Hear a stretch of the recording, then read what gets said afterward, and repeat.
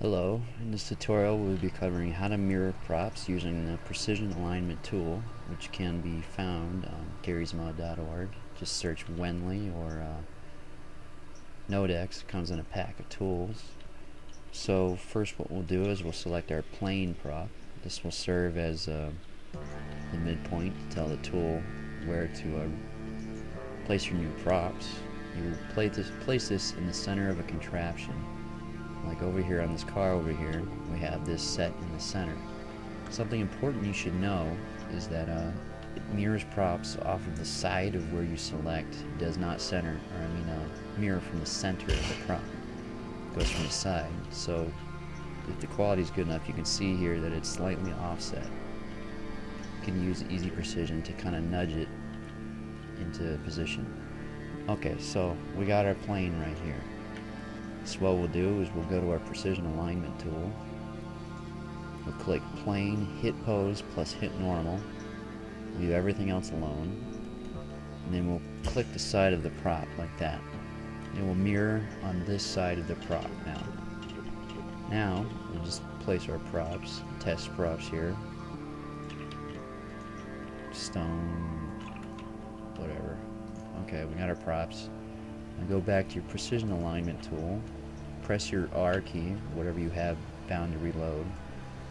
And then we'll go to rotation functions and uh, click mirror across plane and then click plane 1 on plane selection and get out of that. And we'll right click a prop to select it. You can only select one prop at a time for now. And then go back to your R menu. In this button, rotate entity, hold your shift key and click it. If you don't hold shift, it won't copy it. It will just move that prop. So now we have a mirror, and we'll do the others. Shift click, do it again, and there you go. It's perfectly mirrored. Some props don't always orient themselves correctly, like one prop being this this canister here. You put it like that. As you can see, it does not mirror the correct way. You can just use Stacker to fix this or whatever else you want to use. So, okay, we got a practical thing over here.